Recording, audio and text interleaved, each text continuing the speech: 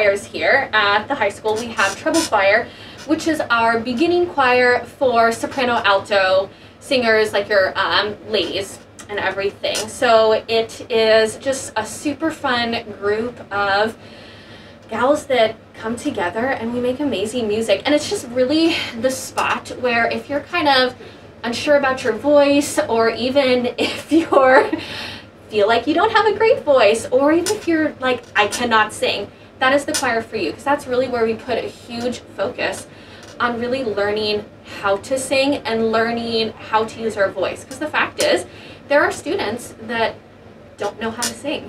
there are students that have never really like used their voice in a singing way. The fact is everybody can sing.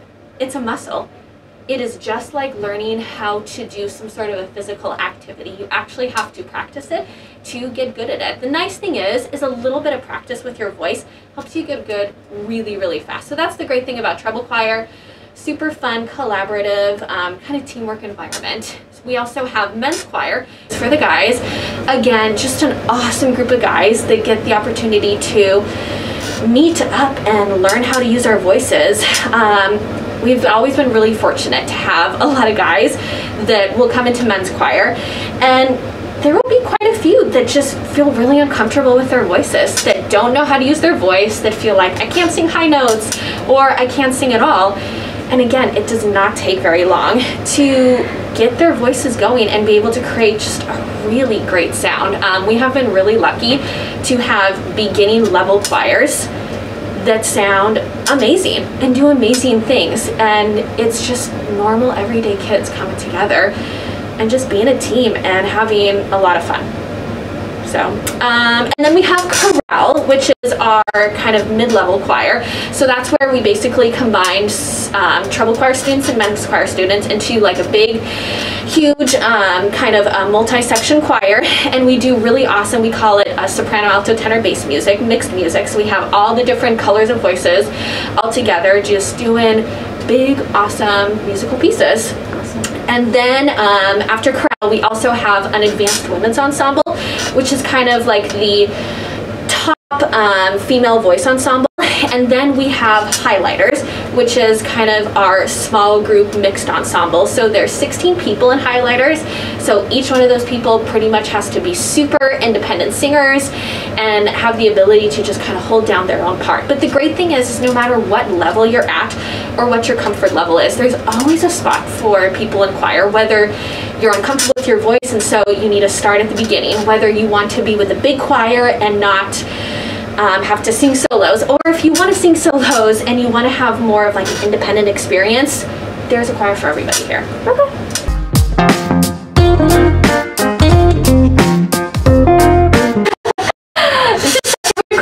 because I didn't originally want to be a choir teacher.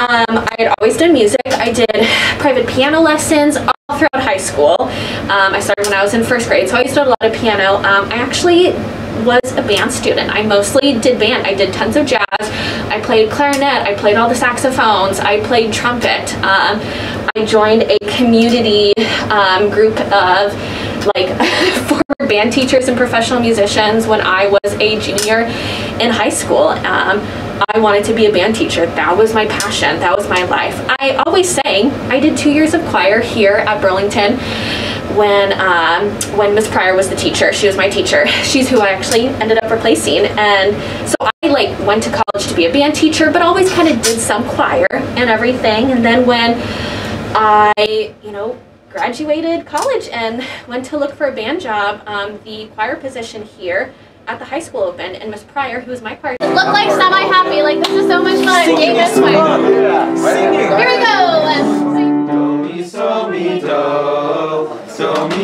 Mi so mi do. Jumbo. Jumbo, Jumbo Bwana. Jumbo Wana, Habari Gani. Habari Gani, Missouri Sama. Nzuri Sana. Yeah.